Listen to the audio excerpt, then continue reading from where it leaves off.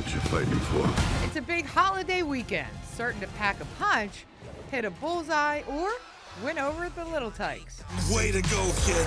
Six years after Wreck It Ralph poppered the box office, Ralph Breaks the Internet is ready for another adventure. John C. Reilly and Sarah Silverman reprise their voice roles, with Taraji P. Henson joining the cast.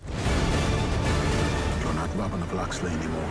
The tale of Robin Hood gets a reboot, this time starring Jamie Foxx and Taron Egerton, adding some updated elements to the classic story. Don't do this. I ain't got a choice. Rocky Balboa is back teaching boxing and life lessons to Apollo Creed's son in Creed 2. The big fight is now against Ivan Drago's son. Because it takes courage to change people's hearts. And opening wider are a few award contenders. First up is Green Book, a true story based in the 60s about an Italian driver and an African American musician on tour in the Deep South.